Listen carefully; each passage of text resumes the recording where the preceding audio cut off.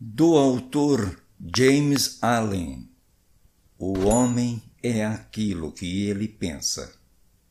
Com tradução de Gulnara Lobato de Moraes Pereira. A leitura é amadora por J. Carlos de Andrade. A mente é a força mestra que molda e faz. E o homem é mente e sem cessar maneja a ferramenta do pensamento. Com ela, forja o que deseja e cria em profusão alegrias e males. Pensa em segredo e tudo acontece. Seu ambiente não passa de seu próprio espelho. A publicação é exclusiva do canal J. Carlos de Andrade CLW no YouTube. Pensamento e caráter. O aforismo: o homem é aquilo que ele pensa. Não só abrange por inteiro o ser do homem, como tal abrangência chega ao ponto de envolver todas as condições e circunstâncias de sua vida. O homem é, literalmente, aquilo que ele pensa. Seu caráter não passa da soma total de todos os seus pensamentos.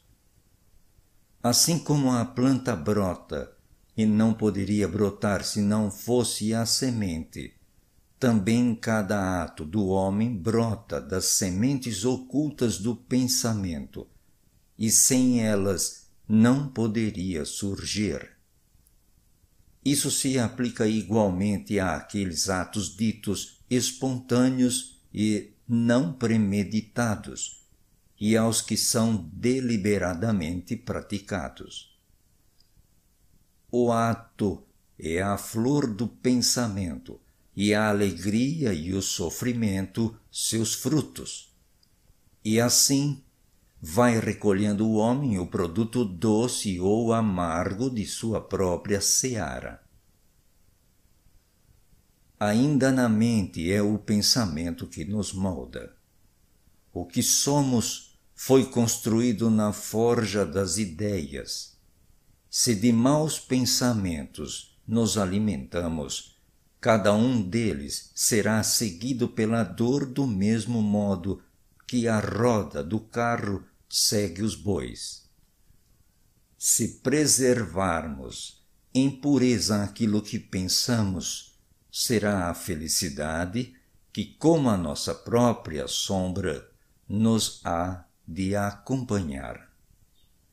O homem é um produto da lei e não do artifício e causa e efeito são tão absolutos e inevitáveis no plano secreto do pensamento quanto no mundo das coisas visíveis e materiais. Um caráter nobre à semelhança de Deus não é algo que se possa atribuir ao favor ou ao acaso, mas é sim o resultado natural de um contínuo esforço de reto pensar, o efeito de um prolongado anseio de associação com o pensamento de Deus. Um caráter ignóbil e bestial, pelo mesmo processo, é o resultado de um constante acolhimento e pensamentos vis. O homem por si mesmo se faz ou se destrói. No arsenal das ideias, forja as armas com que ele próprio se destrói. Molda também os instrumentos com os quais constrói para si mesmo paradisíacas mansões de alegria, força e paz. Pela escolha acertada e pela legítima aplicação do pensamento, o homem ascende à divina perfeição. Pelo abuso e má aplicação do pensamento, ele desce abaixo do nível do animal. Entre esses dois extremos se encontram todas as gradações do caráter, e o homem é quem as modela e controla. De todas as belas verdades pertencentes à alma, que foram restauradas e trazidas à luz neste século, nenhuma é mais risonha ou mais rica em divinas promessas e em confiança do que esta, a de que o homem é o senhor do pensamento, o modelador do caráter e o construtor e forjador da condição, do meio e do destino. Como um ser dotado de força, de inteligência e de amor, e senhor de seus próprios pensamentos, o homem tem nas mãos a chave de todas as situações e encerra em si mesmo o elemento transformador e regenerador, por meio do qual pode fazer de si próprio o que quiser. O homem é sempre o senhor, mesmo que entregue as maiores fraquezas e ao máximo abandono. Mas em sua fraqueza e degradação, continua sendo o insensato senhor que desgoverna a sua própria casa. Quando ele começa a refletir sobre o seu estado e a procurar diligentemente a lei sob a qual foi criado, começa a se tornar um senhor ajuizado, capaz de dirigir com inteligência suas energias e a ajustar seus pensamentos visando a fins frutíferos. Esse é o senhorio consciente que o homem só atinge quando descobre dentro de si mesmo as leis do pensamento, descoberta essa que é inteiramente uma questão de aplicação, autoanálise e experiência. Só através de grande procura e mineração é possível encontrar ouro e diamantes, e todas as verdades ligadas ao seu ser podem ser encontradas pelo homem se ele explorar em profundidade a mina de sua alma. E se observar, controlar e alterar seus pensamentos rastreando-lhes os efeitos sobre si próprio e sobre os outros, sobre sua vida e circunstâncias, ligando causa e efeito por meio de um paciente exercício e da investigação, utilizando cada experiência, mesmo a mais trivial, cada ocorrência cotidiana como um meio de obter o conhecimento de si mesmo que é compreensão, sabedoria e poder, acabará infalivelmente por provar que ele é o construtor do seu próprio caráter, o modelador de sua vida e o edificador de seu destino. Nessa direção e em nenhuma outra, é que nos aponta a lei absoluta segundo a qual aquele que busca achará e aquele que bate abrir-se-lhes-á. Pois só pela paciência, pela prática e incessante insistência pode o homem transpor a porta do templo do conhecimento. Efeito dos pensamentos sobre as circunstâncias. A mente do homem pode ser comparada a um jardim cultivado com inteligência ou entregue ao abandono. Quer o cultivem ou o abandonem, forçosamente brotará. Se nada de bom nele for semeado, mas sementes de ervas daninhas se espalharão em abundância e continuarão a multiplicar-se. Assim como um jardineiro cultiva sua terra, conservando-a livre do mato e plantando flores e frutos que lhe são necessários, assim também o homem cultiva o jardim de sua mente, arrancando todos os pensamentos maus, inúteis e impuros, e cultivando, com vistas à perfeição, as flores e os frutos de pensamentos justos, úteis e puros. Adotando este processo, mais cedo ou mais tarde descobriremos que somos o jardineiro-chefe de nossas almas, o dirigente de nossas vidas. Com isso, revelamos também, dentro de nós mesmos, as leis do pensamento e compreendemos com crescente exatidão como as forças do pensamento e os fatores mentais operam na formação do nosso caráter, das circunstâncias e do destino. Pensamento e caráter são uma só coisa, e como o caráter só pode manifestar-se e revelar-se através do meio e das circunstâncias, as condições externas da vida de uma pessoa mostrar-se-ão sempre harmoniosamente relacionadas com seu estado íntimo. Isso significa que as circunstâncias que cercam o homem em qualquer tempo sejam um indício de seu caráter como um todo, mas que tais circunstâncias se encontram tão intimamente ligadas a algum fator pensamento vital em seu interior que naquele momento eles são indispensáveis para o seu desenvolvimento.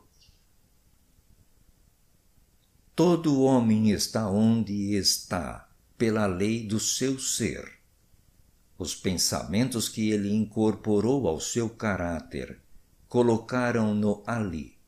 E na disposição de sua vida não existe nenhum fator casual, mas tudo é o resultado de uma lei que não pode falhar. Isso é tão verdade em relação àqueles que se sentem em desarmonia com o seu meio como aos que se sentem satisfeitos com ele. Como um ser que progride e evolui, o homem está onde está para que possa aprender que tem que crescer.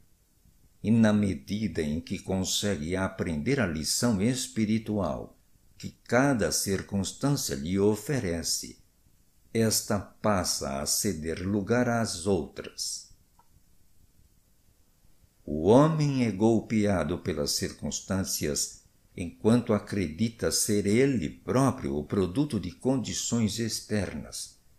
Mas quando compreende que representa uma força criativa e que pode dominar o solo oculto e as sementes de seu ser dos quais brotam as circunstâncias, torna-se o legítimo senhor de si próprio que as circunstâncias nascem do pensamento é algo que todo homem que tenha praticado durante algum tempo o autocontrole e a autopurificação sabe, pois terá notado que a modificação de tudo que lhe ocorre se operou na exata proporção em que ele modificou seu estado mental. Isso é tão verdade que, quando nos aplicamos sinceramente a corrigir os defeitos de nosso caráter e fazemos rápidos e marcantes progressos, em pouco tempo passamos por uma série de vicissitudes. A alma atrai aquilo que ela secretamente abriga aquilo que ela ama e também aquilo que teme. Ela atinge o apogeu de suas mais caras aspirações e desce ao nível de seus desejos impuros. E as circunstâncias são os meios pelos quais a alma recebe o que lhe é devido. Toda semente pensamento que se semeie ou deixe cair e arraigar-se na mente, multiplica-se, e mais cedo ou mais tarde, dela brota o ato, trazendo os frutos de oportunidade e circunstâncias próprios de sua espécie. Bons pensamentos darão bons frutos, maus pensamentos, maus frutos. O mundo exterior das circunstâncias molda-se ao mundo interior do pensamento e as condições externas, tanto as agradáveis quanto as desagradáveis, são fatores que contribuem em seu resultado final para o bem do indivíduo. Como ceifeiros de sua própria colheita, o homem aprende tanto pelo sofrimento quanto pela felicidade. Seguindo os mais secretos desejos, aspirações e pensamentos pelos quais se deixa dominar, perseguindo o fogo fátuo de fantasias impuras ou trilhando com passos firmes a estrada do vigoroso e elevado esforço, o homem chega finalmente a fruí-los e realizá-los nas condições exteriores de sua vida. As leis de crescimento e adaptação prevalecem em toda parte.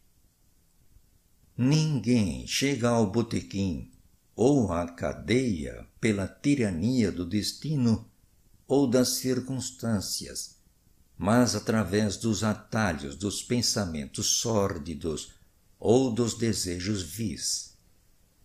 Tampouco ninguém de mente limpa cai de repente no crime, pressionado por qualquer força exterior. O pensamento criminoso há muito vinha sendo secretamente alimentado no coração, e a hora da oportunidade revelou sua força acumulada. Não são as circunstâncias que fazem o homem, elas o revelam a si próprio. Ninguém mergulha no vício e nos sofrimentos que dele resultam sem que haja antes inclinações más, como ninguém chega à virtude e à felicidade pura que ela acarreta sem um constante cultivo de aspirações virtuosas. Portanto, o homem, como amo e senhor de seus pensamentos, é o edificador de si próprio, o modelador e autor de tudo que o cerca. Já ao nascer, a alma é o que ela é e a cada passo de sua peregrinação terrena vai atraindo conjuntos de condições que a revelam, que são os reflexos de sua própria pureza e impureza, de sua força e de suas fraquezas. Os homens não atraem aquilo que eles querem, mas sim aquilo que eles são seus caprichos, fantasias e ambições são distorcidos a cada passo, mas seus pensamentos e desejos mais secretos nutrem-se de seu próprio alimento, quer seja ele sujo ou limpo. A divindade que forja nossos destinos está em nós mesmos e é o nosso próprio eu. O homem é manietado somente por si mesmo. Pensamento e ação são os carcereiros do destino. Se forem vis, aprisionam. São também os anjos da liberdade. Se forem nobres, libertam. O que o homem obtém não é aquilo que ele deseja e pede a Deus, mas o que por justiça recebe. Seus desejos e preces só serão gratificados e atendidos se se harmonizarem com seus pensamentos e atos. À luz dessa verdade, qual será então o sentido de lutar contra as circunstâncias? É que o homem está sempre se revoltando contra algum efeito externo, ao mesmo tempo que, sem cessar, alimenta e preserva a causa em seu coração. Essa causa pode assumir a forma de um vício consciente ou de uma fraqueza inconsciente. Mas, seja ela o que for, retarda obstinadamente os esforços do seu portador e assim clama bem alto por um remédio. Os homens vivem ansiosos por melhorar suas condições, mas não querem melhorar-se a si mesmos.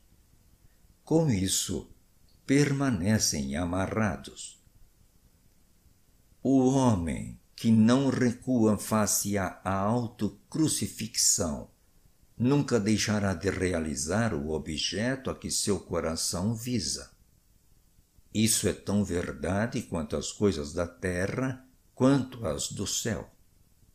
Até mesmo aquele cujo único objetivo for adquirir riquezas deve estar preparado para fazer grandes sacrifícios pessoais até que possa atingir a sua meta.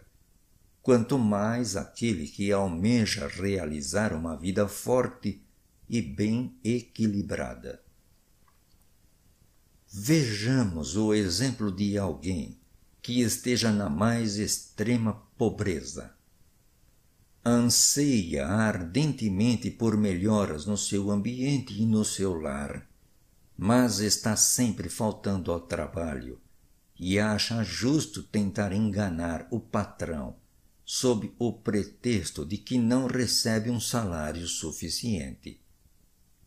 Esse indivíduo não compreende os mais simples rudimentos daqueles princípios que constituem a base da verdadeira prosperidade e não só se acha totalmente despreparado para emergir da sua miséria, como na realidade estará atraindo para si misérias ainda piores, por abrigar e traduzir em atos pensamentos indolentes, fraudulentos e covardes. Imaginemos um homem rico que tenha sido vítima de uma enfermidade dolorosa e renitente resultante de sua gula. Está disposto a pagar altas somas para se ver livre dela, mas não quer sacrificar seus pendores glutônicos.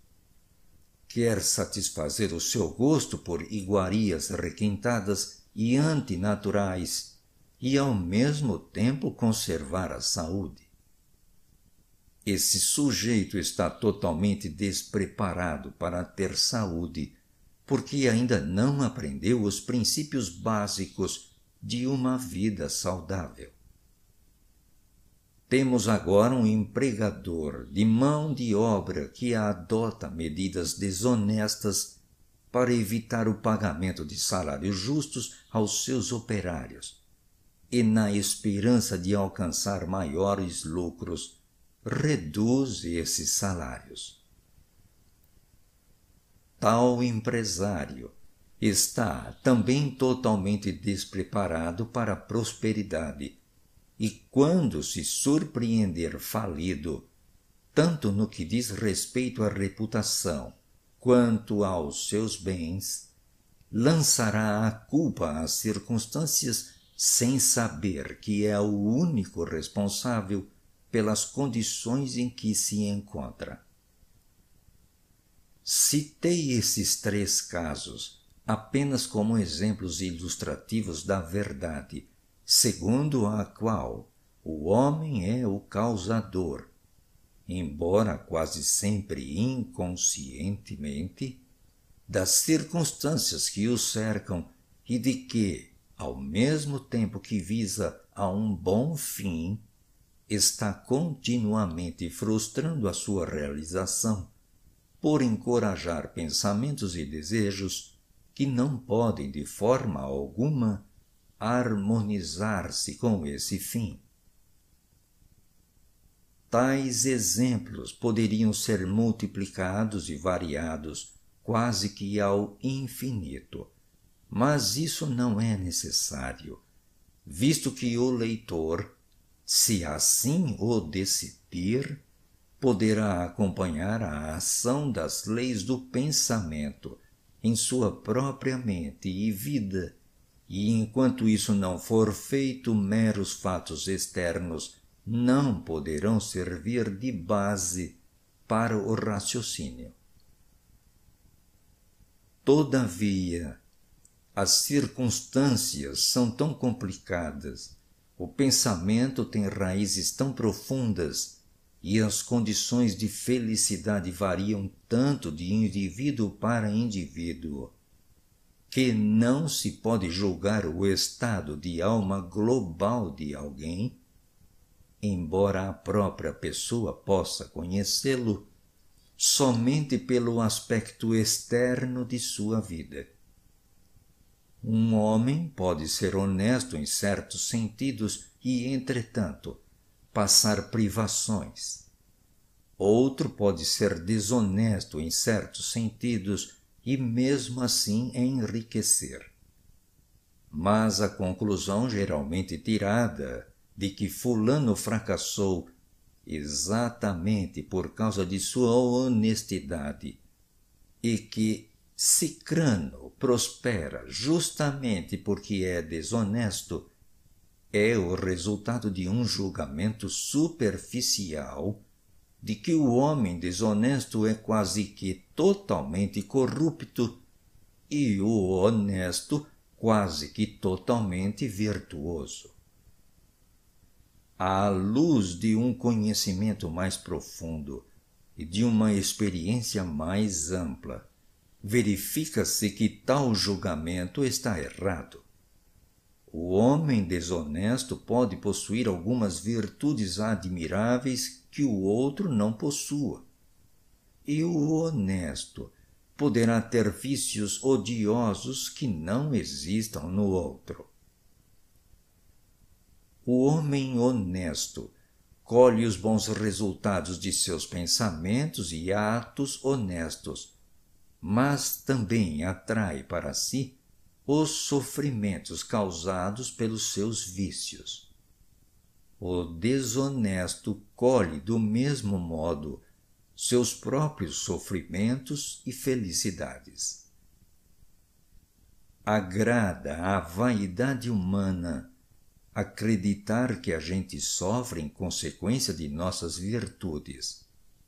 Mas enquanto o homem não tiver extirpado de sua mente todo pensamento doentio, amargo e impuro, e não tiver lavado em sua alma a última nódoa do pecado, não terá condições de saber e declarar que seus sofrimentos são o resultado de suas boas qualidades e não das más.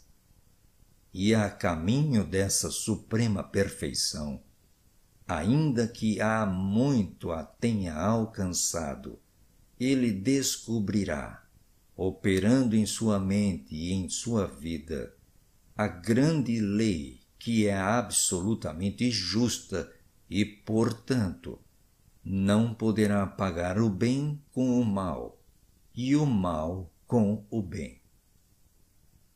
De posse de tal conhecimento, ele saberá então volvendo os olhos para sua passada ignorância e cegueira, que sua vida é, e sempre foi, ordenada com justiça e que todas as suas experiências passadas, boas e más, foram o produto equitativo de seu próprio ser, não evoluído, mas em evolução. Bons pensamentos e atos jamais produzirão maus resultados. Maus pensamentos e atos jamais produzirão bons resultados. Isso equivale a dizer que do trigo só poderá nascer trigo e de urtigas só urtigas. Nós entendemos essa lei no mundo natural e trabalhamos com ela. Mas poucos são os que a entendem no mundo mental e moral. Embora sua ação nele seja igualmente simples e inevitável, e, portanto, não cooperam com ela. O sofrimento é sempre o efeito do pensamento errado em algum sentido. É um indício de que o indivíduo está em desarmonia consigo mesmo, com a lei do seu ser. A exclusiva e suprema utilidade da dor é a de purificar, de queimar tudo que é inútil e impuro. Para aquele que é puro, a dor deixa de existir. Não teria sentido levar o ouro ao fogo depois que a ganga já foi eliminada e um ser perfeitamente puro e esclarecido não poderia sofrer. As circunstâncias que o homem enfrenta no sofrimento são o resultado de sua própria desarmonia mental as circunstâncias que o homem enfrenta e recebe com bem-aventurança são o resultado de sua própria harmonia mental. A bem-aventurança, não os bens materiais, é a medida do pensamento reto. A infelicidade, não a falta de bens materiais, é a medida do pensamento errado. Um homem pode ser amaldiçoado e rico, pode ser abençoado e pobre. Bênçãos e riquezas só se juntam quando as riquezas são justas e sabiamente usadas. E o pobre só se torna miserável quando considera sua sorte como um fardo injustamente imposto. Indigência e vício são os dois extremos da infelicidade. Ambos são igualmente antinaturais e o resultado de desordem mental. Homem algum atinge um condicionamento adequado enquanto não se sente feliz, saudável e próspero. E a felicidade, a saúde e a prosperidade são o resultado de um harmonioso ajustamento do interior ao exterior, do homem ao seu meio.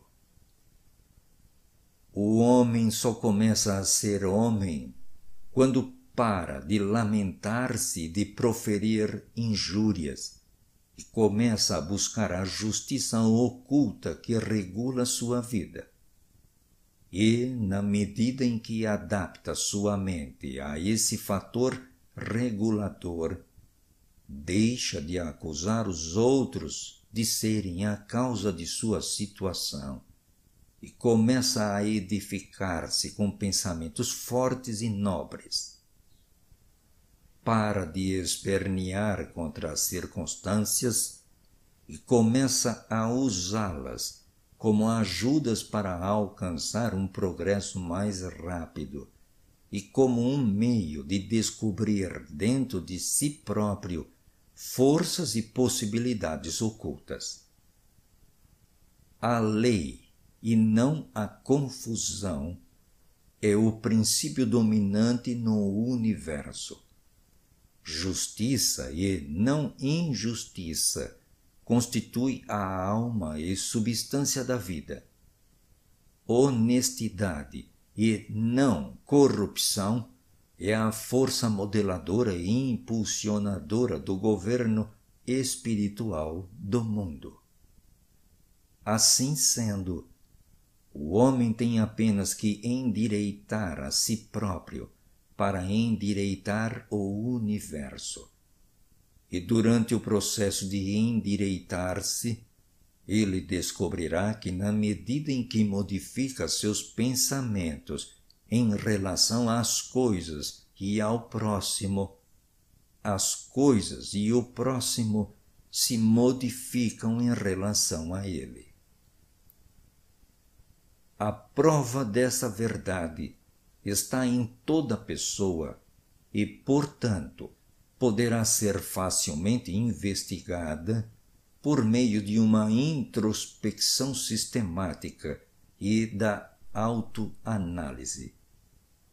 Modifique alguém radicalmente em seus pensamentos e se assombrará ante a rápida transformação que isso efetuará nas condições materiais de sua vida. Imaginamos que o pensamento pode ser mantido em segredo, mas não pode. Ele se cristaliza rapidamente em hábitos, e os hábitos se concretizam em circunstâncias. Pensamentos animalescos cristalizam-se em hábitos de embriaguez e sensualidade, os quais, por sua vez, se concretizam em circunstâncias de miséria e doença.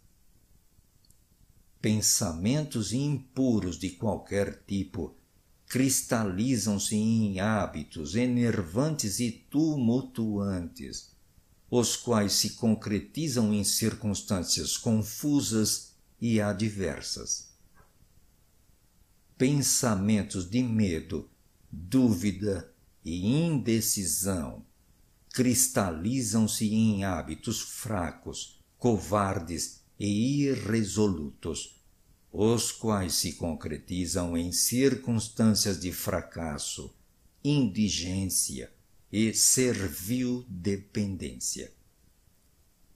Pensamentos preguiçosos, cristalizam-se em hábitos de falta de higiene e desonestidade, os quais se concretizam em circunstâncias de sujeira e mendicância. Pensamentos de ódio e condenação cristalizam-se em hábitos de acusação e violência, os quais se concretizam em circunstâncias de injúria e perseguição pensamentos egoístas de todos os tipos cristalizam-se em hábitos de egocentrismo que se concretizam em circunstâncias mais ou menos infelicitantes. Por outro lado, bons pensamentos de todos os tipos cristalizam-se em hábitos de gentileza e bondade os quais se concretizam em circunstâncias risonhas e luminosas. Pensamentos puros cristalizam-se em hábitos de temperança e de autocontrole, os quais se concretizam em circunstâncias de repouso e de paz.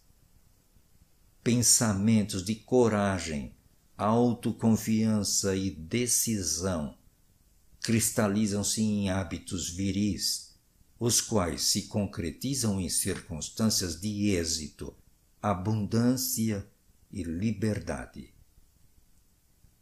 Pensamentos enérgicos cristalizam-se em hábitos de limpeza e atividade, os quais se concretizam em circunstâncias de satisfação, pensamentos amáveis e de perdão cristalizam-se em hábitos de gentileza que se concretizam em circunstâncias protetoras e preservadoras. pensamentos de amor e de altruísmo cristalizam-se em hábitos de disposição espontânea para perdoar, os quais se concretizam em circunstâncias de segura e duradoura prosperidade e verdadeira riqueza. A persistência em determinada linha de pensamento, seja ela boa ou má, não pode deixar de produzir seus efeitos sobre o caráter e as circunstâncias. Ninguém pode escolher diretamente as circunstâncias de sua vida, mas podemos escolher nossos pensamentos e assim, indireta, porém seguramente, moldar nossa situação. A natureza ajuda todo homem na gratificação dos pensamentos que ele mais estimula e apresentam-se oportunidades que trazem mais rapidamente à tona tanto os maus como os bons pensamentos. Ponha um homem paradeiro a seus pensamentos pecaminosos e o mundo todo se abrandará em torno dele, mostrando-se pronto para ajudá-lo. Afaste ele seus pensamentos fracos e doentios e maravilha! De todos os lados surgirão oportunidades para ajudar suas enérgicas resoluções. Que ele encoraje seus bons pensamentos e nenhum mau destino o amarrará à miséria e à vergonha.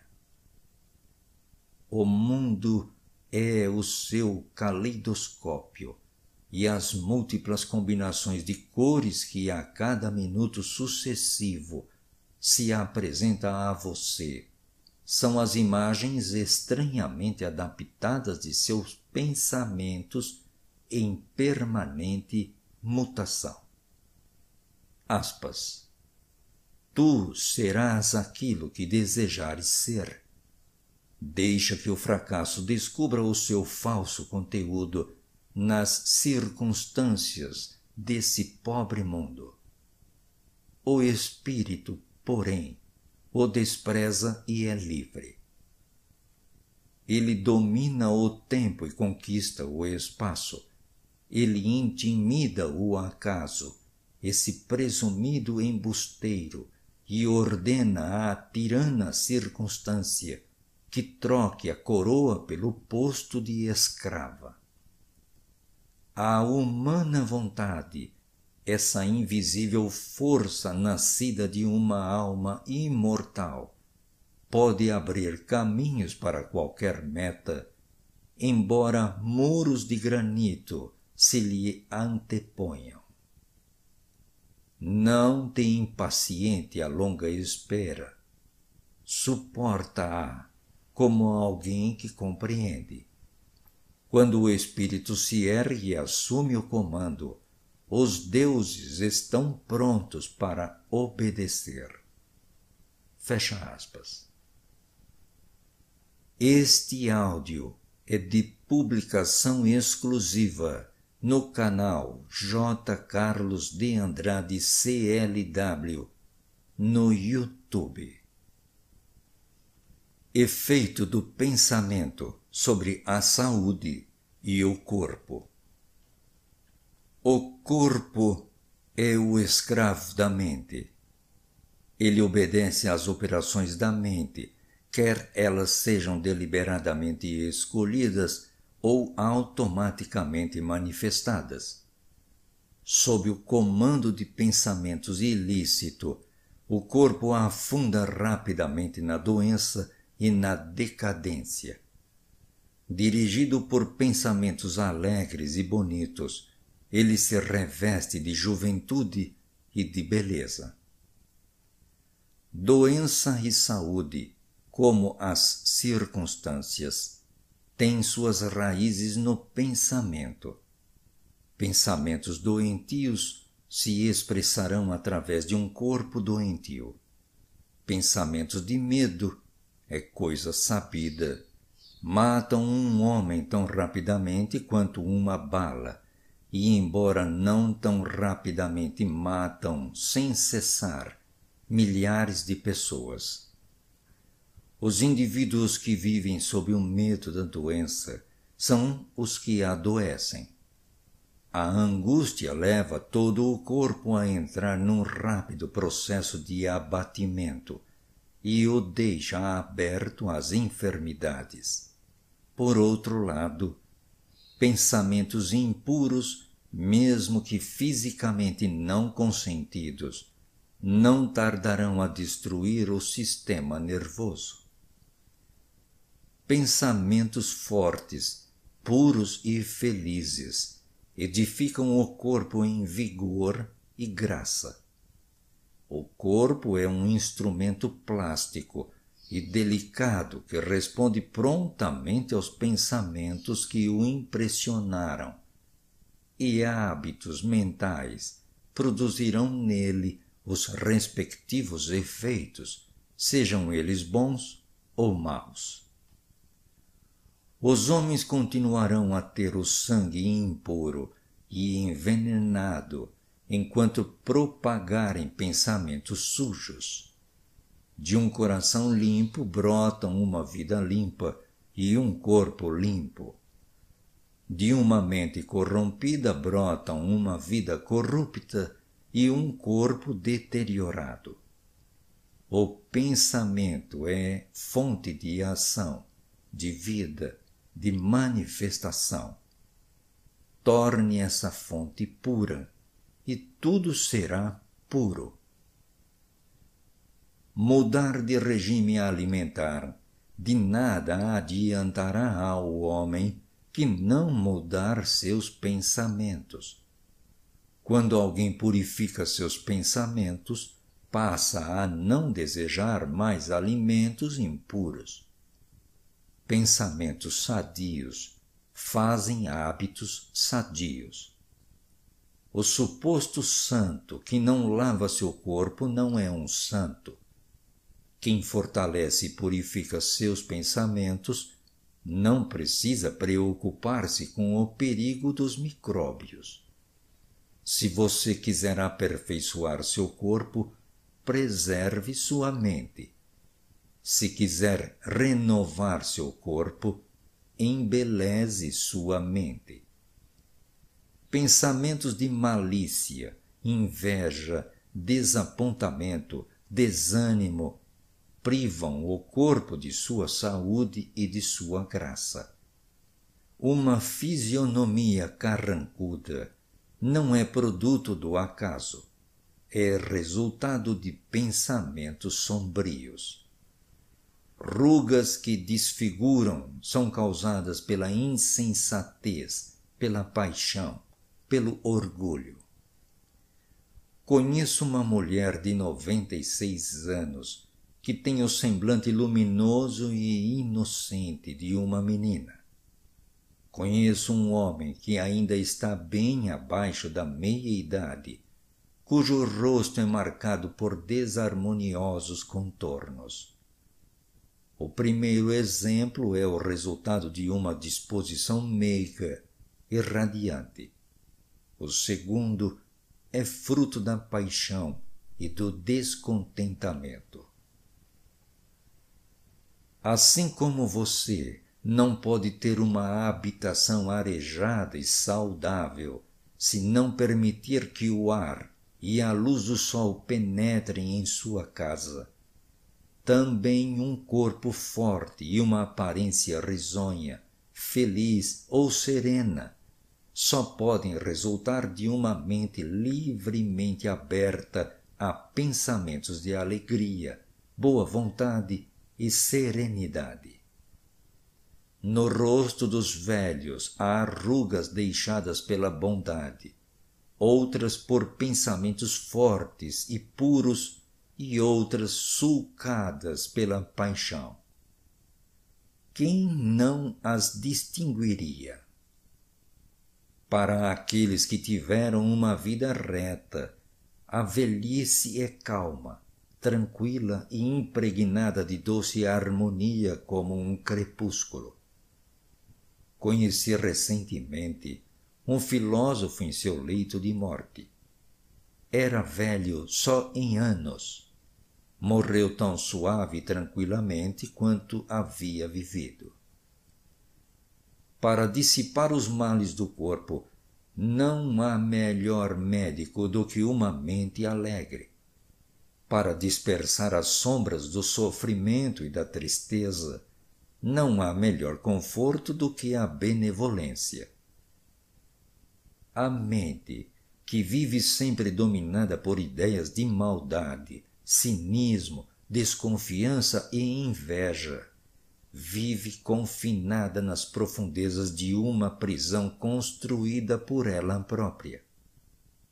Mas pensar bem de todos, tratar todos com alegria, aprender pacientemente a descobrir o bem em todos, são pensamentos altruísticos que representam as próprias portas do céu e alimentar dia a dia pensamentos de paz em relação a todas as criaturas, trará abundante paz a quem assim agir.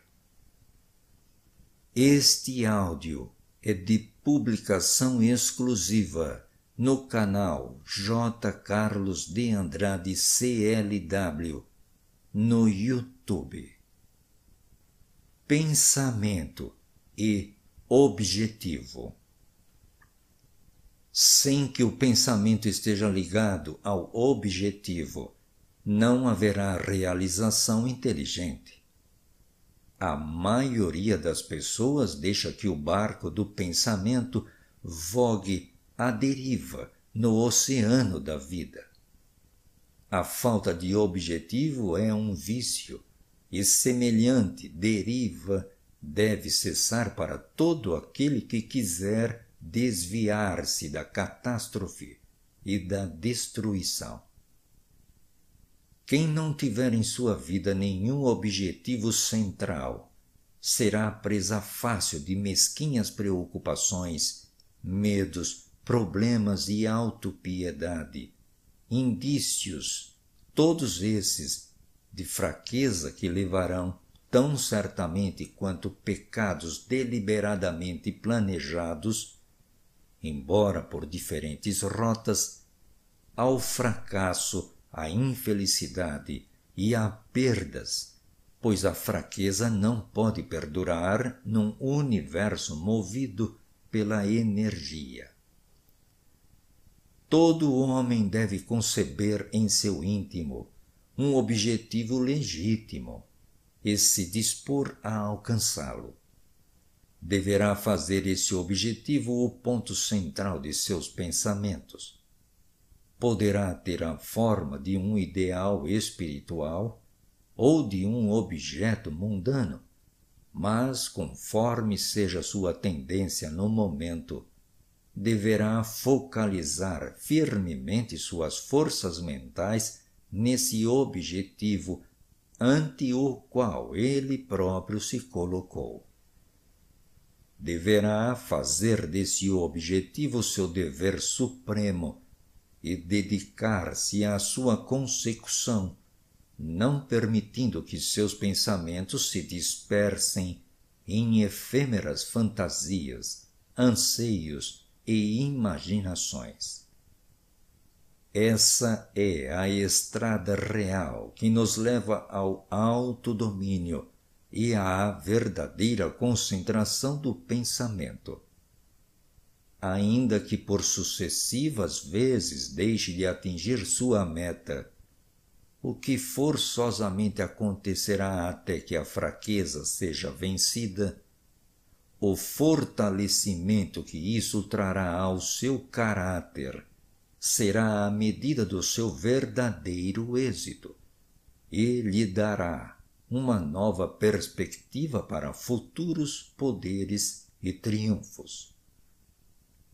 os que não estão preparados para a apreensão de um alto objetivo devem fixar seus pensamentos no perfeito cumprimento de seus deveres, por mais insignificantes que suas tarefas lhes possam parecer.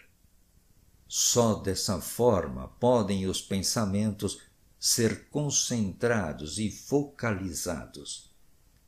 A resolução e a energia desenvolvidas, e uma vez conseguido isso, não haverá nada que não possa ser realizado.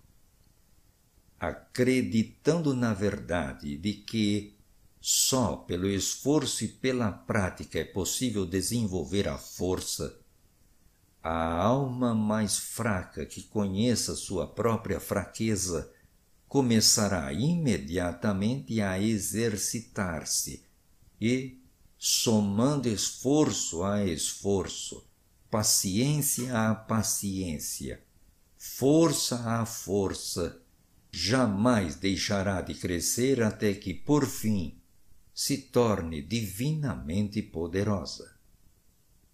Do mesmo modo que o homem fisicamente fraco pode tornar-se forte mediante cuidadoso e paciente treinamento, o homem de pensamentos fracos pode revigorá-los exercitando-se na prática do reto pensar. Pôr de lado a falta de objetividade e a fraqueza e começar a pensar com um firme propósito equivale a entrar para a categoria dos fortes que só reconhecem o fracasso como um dos atalhos para a realização que obrigam todas as contingências a servi-los e que pensam vigorosamente, ousam destemidamente e realizam com maestria. Tendo determinado a sua meta, o homem deve traçar mentalmente um caminho reto para alcançá-la, seguindo-o sem olhar nem para a direita nem para a esquerda. Dúvidas e temores devem ser eliminados com rigor. Eles constituem elementos desintegradores que desviam a linha reta do esforço, tornando-a curva, ineficiente e inútil. Ideias de medo e de dúvida nunca realizam coisa alguma, nem poderiam. Sempre levam ao fracasso. Objetividade, energia, capacidade de realização e todos os pensamentos vigorosos cessam quando a dúvida e o medo se insinuam. A vontade de fazer brota do conhecimento de que podemos fazer. Dúvida e medo são os grandes inimigos do conhecimento, e quem os encoraja, quem não os destrói, atrapalha-se a cada passo. Quem derrotar a dúvida e o medo terá derrotado o fracasso. Seu próprio pensamento alia-se à força e todas as dificuldades são enfrentadas com bravura e vencidas com sabedoria. Seus objetivos são plantados no tempo certo e florescem e dão frutos que não caem prematuramente. O pensamento, aliado com destemor à determinação, se transforma em força criativa quem tiver conhecimento disso estará pronto para tornar-se algo mais alto e mais forte do que um mero feixe de pensamentos vacilantes e de sensações instáveis. Quem fizer isso se transforma no manejador consciente e inteligente de suas forças mentais. Este áudio é de publicação exclusiva no canal J. Carlos de Andrade CLW no YouTube. O fator pensamento na realização. Tudo o que o homem realiza e tudo o que ele deixa de realizar é o resultado direto de seus próprios pensamentos. Num universo perfeitamente ordenado, no qual a perda do equilíbrio significaria destruição total, a responsabilidade individual deve ser absoluta. A fraqueza e a força de um homem, a pureza e a impureza, são suas e não de outro homem. São produzidas por ele próprio e não por outrem e só podem ser modificadas por ele mesmo, nunca por outro homem. Sua situação também lhe é própria e não de outra pessoa. Seu sofrimento e sua felicidade se desenvolvem em seu íntimo. Como ele pensa, assim ele é. Como continuar a pensar assim permanecerá. Um homem forte não pode ajudar outro mais fraco, a menos que o mais fraco queira ser ajudado, e mesmo assim o fraco terá de se tornar forte por si mesmo.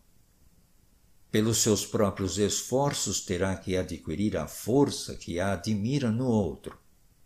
Ninguém a não ser ele próprio, pode modificar seu estado. Era comum pensar-se e dizer-se: Muitos homens são escravos, porque um deles é opressor. Odiemos o opressor.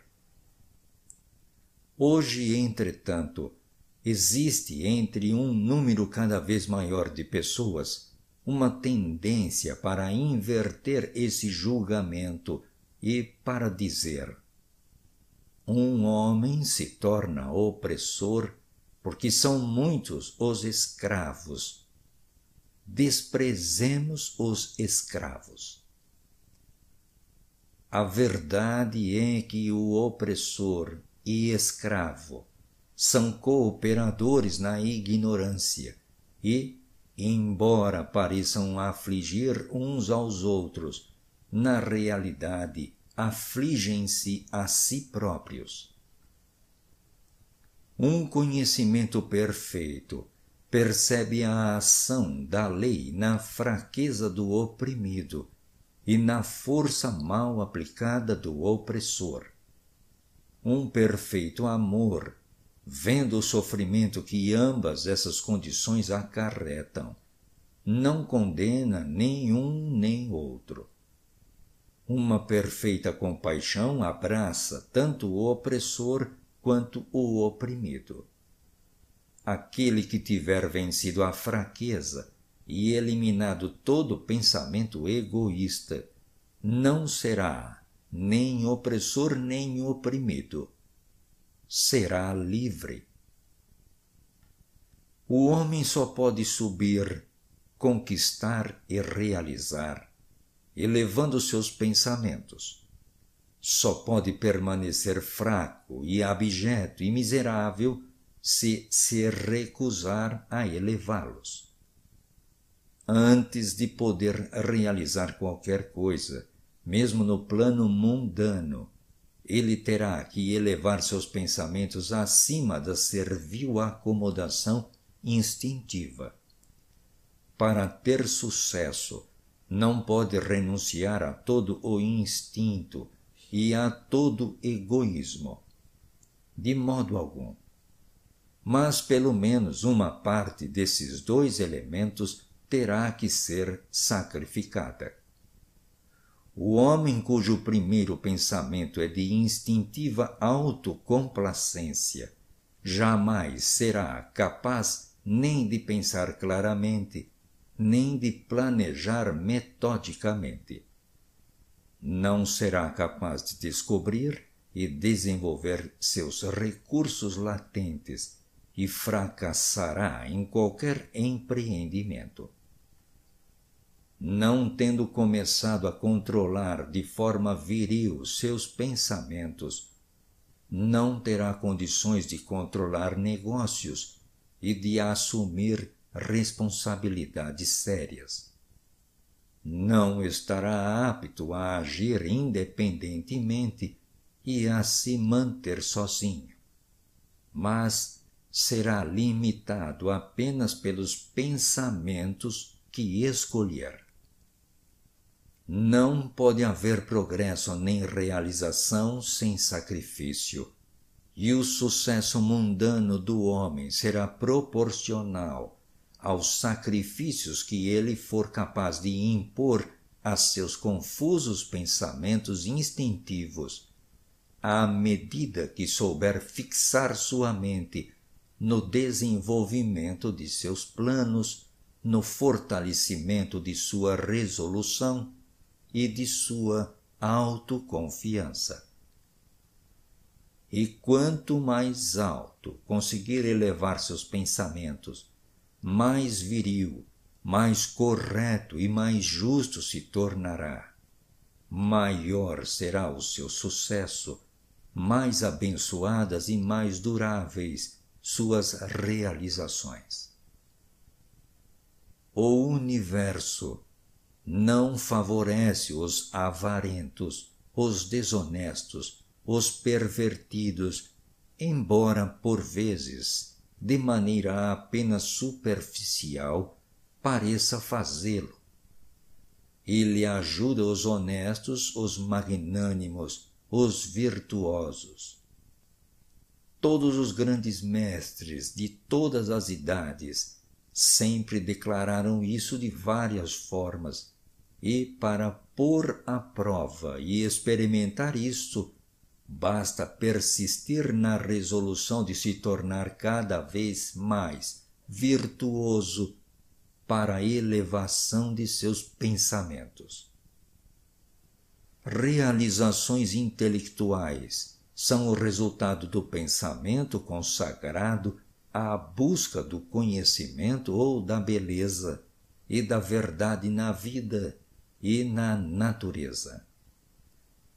Tais realizações por vezes podem estar ligadas à vaidade e à ambição, mas não são o produto destas características. São o resultado natural de longos e árduos esforços e de pensamentos puros e generosos. Realizações espirituais são o resultado de altas aspirações. Quem vive constantemente arquitetando pensamentos nobres e elevados, quem se apoia em tudo que é puro e generoso, tão certo como o sol atinge o seu zênite e a luz a sua plenitude, adquirirá sabedoria e nobreza de caráter e alcançará uma posição de influência e de felicidade.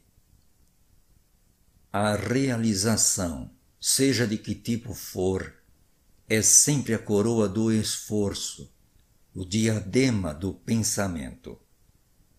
Com a ajuda do autocontrole, da determinação, da pureza, da honestidade e do pensamento bem dirigido, o homem sobe movido pelo instinto, pela indolência, pela impureza, corrupção e confusão mental, ele decai.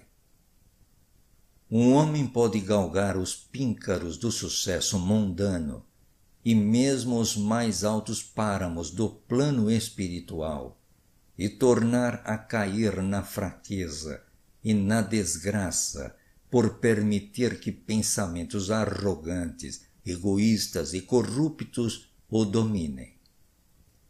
Vitórias alcançadas através do pensamento reto só podem ser mantidas pela vigilância. Muitos se deixam afrouxar quando o sucesso está garantido e rapidamente recaem no fracasso. Todas as realizações, quer no mundo dos negócios, do intelecto ou do espírito, são o resultado do pensamento firmemente dirigido. Originam-se do mesmo método e são governadas pela mesma lei. A única diferença entre elas reside na meta que visam atingir. Aquele que quiser conseguir pouco terá que sacrificar pouco. Aquele que quiser conseguir muito terá que sacrificar muito. Aquele que quiser alcançar grandes coisas terá que fazer grandes sacrifícios. Este áudio é de publicação exclusiva no canal J. Carlos de Andrade CLW no YouTube. Visões e ideais. Os sonhadores são os salvadores do mundo. Assim como o mundo visível é sustentado pelo invisível, do mesmo modo os homens através de todos os seus pecados, tribulações e sórdidas tendências, são alimentados pelas belas visões dos sonhadores solitários. A humanidade não pode esquecer os seus sonhadores, não pode deixar que seus ideais se apaguem e morram. Vive neles reconhece neles as realidades que um dia verá e conhecerá. Compositores, escultores, pintores, poetas, profetas e sábios são os construtores do pós-mundo, os arquitetos do céu. O mundo é bonito porque eles viveram. Sem eles, a humanidade que labuta pereceria. Todo aquele que em seu íntimo alimenta uma bela visão, o ideal elevado, um dia os atingirá. Colombo acalentou a visão de um outro mundo e o descobriu. Copérnico alimentou a visão de uma multiplicidade de mundos e de universo mais amplo e a revelou. Buda sustentou o ideal de um mundo espiritual de imaculada beleza e perfeita paz e penetrou nele. Ame suas visões, ame seus ideais, Ame a música que lhe toca o coração, a beleza que toma forma em sua mente, a amabilidade que reveste seus pensamentos mais puros, pois deles brotarão todas as situações felizes, todos os ambientes agradáveis. Se você simplesmente se mantiver fiel a eles, o seu mundo acabará se edificando.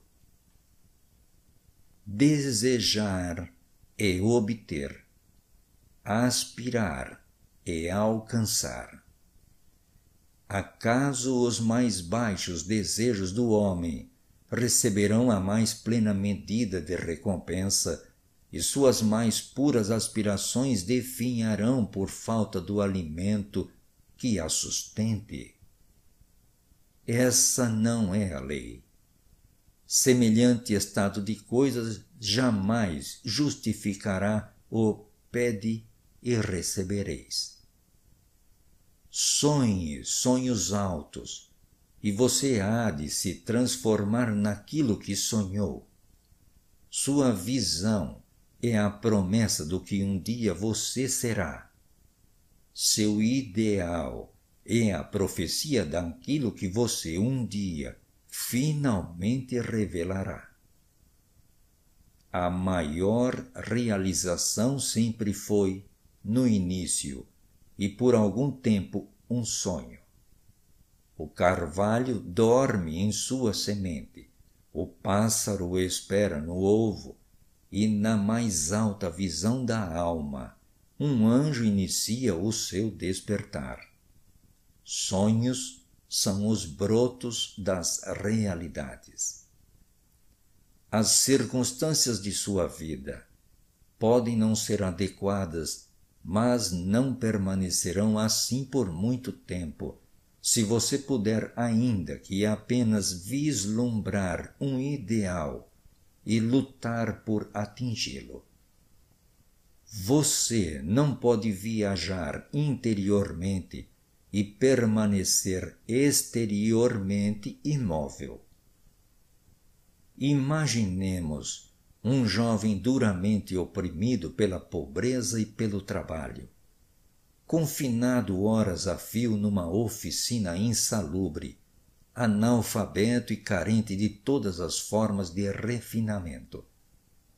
Mas ele sonha com melhores coisas, pensa na inteligência, no refinamento, na graça e na beleza imagina e mentalmente constrói uma condição ideal de vida. A visão de uma liberdade mais ampla, de um escopo mais largo, o domina. A inquietação o impele para a ação e ele utiliza tudo o que consegue poupar de seu tempo e de seus meios, por menos que pudessem representar para desenvolver suas potencialidades e recursos latentes. Em muito pouco tempo, sua mente se modifica de tal forma que a oficina não mais pode contê-lo. Por tal forma, se desarmoniza com a sua mentalidade que ele desaparece de sua vida como uma roupa que despimos e, com o aumento das oportunidades condizentes com o espaço de suas potencialidades em expansão, ele a abandona para sempre. Anos mais tarde, vamos encontrar esse jovem já feito homem maduro. Encontramo-lo já senhor de certas forças mentais que maneja com largo prestígio mundano e com um poder quase inigualado. Em suas mãos manobra os cordéis de gigantescas responsabilidades. Fala e, ó, oh, maravilha! Vidas se transformam. Homens e mulheres bebem-lhe as palavras e reformam seus caracteres, e como um sol transforma-se no luminoso eixo em torno do qual giram inúmeros destinos.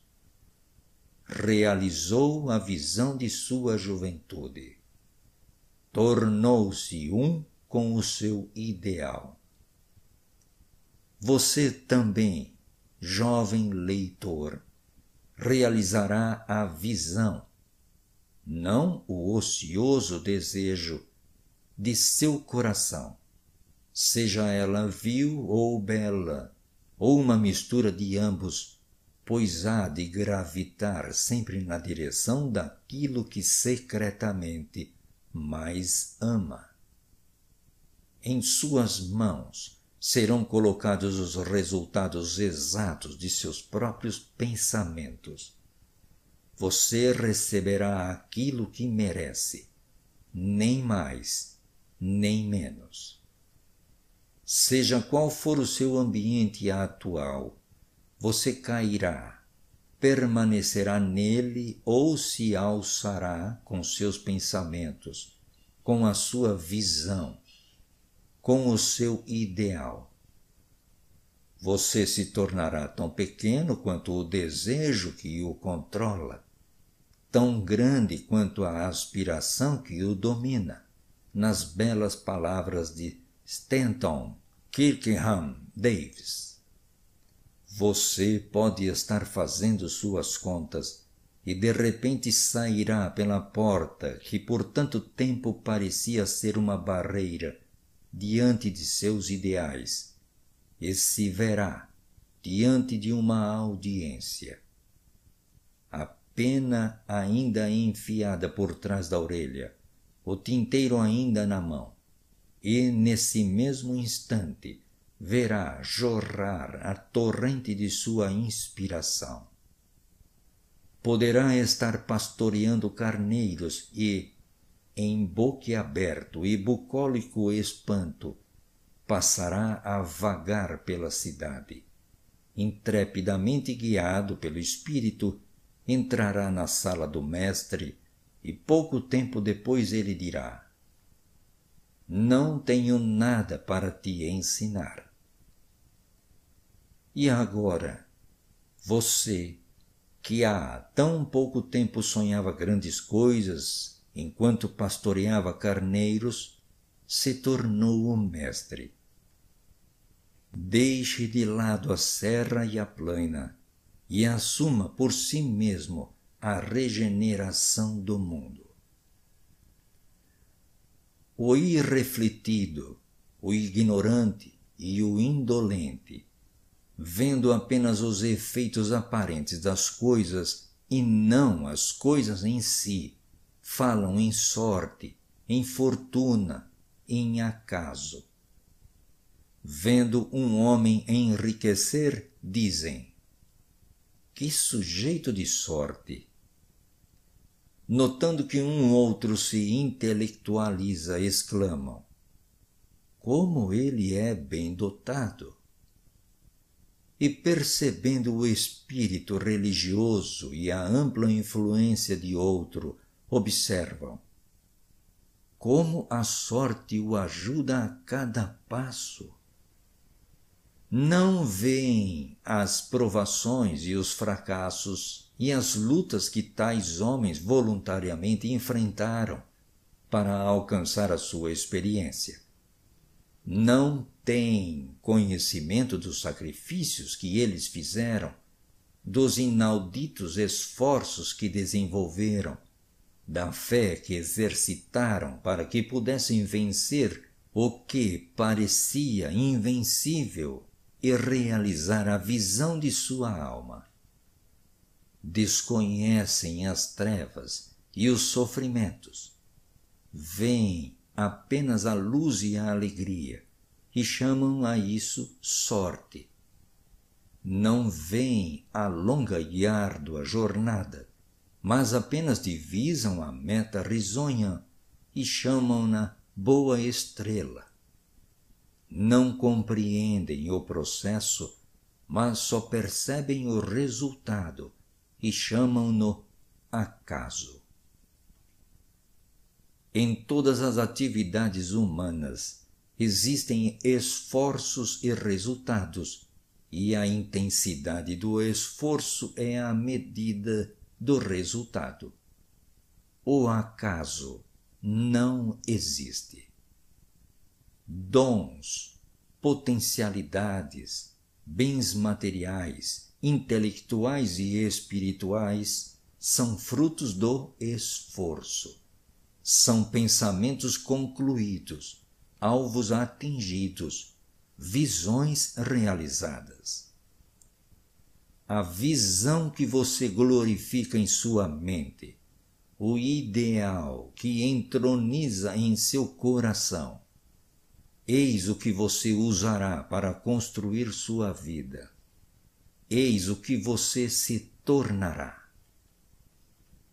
Este áudio é de publicação exclusiva no canal J. Carlos de Andrade CLW no YouTube. Serenidade. Este áudio é de publicação exclusiva no canal J. Carlos de Andrade CLW no YouTube.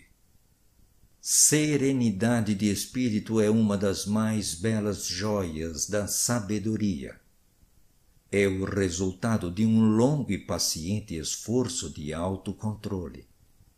Sua presença é indício de experiência madura e de um conhecimento bem pouco comum das leis e modos de operar do pensamento. Um homem se torna calmo na medida em que passa a compreender a si mesmo como um ser de pensamento evoluído, pois semelhante conhecimento exige a compreensão dos outros como resultado do pensamento, e na medida em que ele desenvolve uma compreensão correta e vê cada vez mais claramente as relações internas das coisas através da lei de causa e efeito, deixa de se agitar e de se irritar, de se preocupar e de se queixar, e se torna equilibrado, firme, sereno. O homem calmo, tendo aprendido a governar-se, sabe como adaptar-se aos outros, e estes, por sua vez, reverenciam sua força espiritual e sentem que podem aprender com ele e confiar nele. Quanto mais tranquilo um homem se torna, maior o seu sucesso, sua influência, sua capacidade para o bem. Até mesmo o comerciante comum verá crescer a prosperidade de seu negócio na medida em que desenvolve um maior autocontrole e equanimidade, pois as pessoas sempre preferem lidar com alguém cujo comportamento é marcantemente igual. O homem forte e calmo é sempre amado e reverenciado. Assemelha-se a uma árvore que espalha sua sombra em terra sequiosa ou a uma rocha acolhedora em meio à tempestade. Quem não amará um coração tranquilo, uma vida equilibrada e cheia de doçura? Não importa se chove ou se faz sol, ou quais sejam as mudanças por que passam os que possuem essas bênçãos pois permanecem sempre dóceis, serenos e calmos. Esse raro equilíbrio de personalidade, a que chamamos serenidade, é a última lição da cultura. É o florescimento da vida, o frutificar da alma. É tão preciosa quanto a sabedoria mais desejável do que o ouro. Sim, do que o mais fino ouro. Quão insignificante nos parece a mera busca do dinheiro, se comparada a uma vida serena, uma vida que habita as profundezas do oceano da verdade, sob as ondas, fora do alcance das tempestades na eterna calma. Quantas pessoas conhecemos que amarguram suas vidas, que arruinam tudo o que existe de doce e de belo, com temperamentos explosivos que destroem o seu próprio equilíbrio pessoal e envenenam o próprio sangue. Seria o caso de perguntar se a grande maioria das criaturas não arruína a própria vida e estraga a própria felicidade por falta de autocontrole. Como são poucas as pessoas bem equilibradas que encontramos na vida. Como é raro encontrar-se aquele equilíbrio que é a característica de um caráter aprimorado. Sim, a humanidade se agita com incontrolada paixão, tumultua-se sob o desgovernado sofrimento, é varrida pelas vendavais da ansiedade e da dúvida. Só o homem sábio, só aquele cujos pensamentos são controlados e purificados, é capaz de impor obediência às borrascas e vendavais da alma. Almas sacudidas por tempestades, onde quer que estiverdes, Sejam quais forem as condições em que viveis, sabei disto. No oceano da vida, as ilhas da bem-aventurança estão sorrindo e as ensolaradas praias de vosso ideal esperam por vós. Segurai com mão firme o leme do pensamento. Na barca de vossas almas repousa o piloto mestre. Ele apenas dorme. Despertai-o. Autocontrole é força, pensamento reto é domínio, calma é poder. Dizei a vossos corações: Aquietai-vos e ficai em paz. Final da leitura. Este áudio é de publicação exclusiva no canal J. Carlos de Andrade CLW no YouTube. Muito obrigado.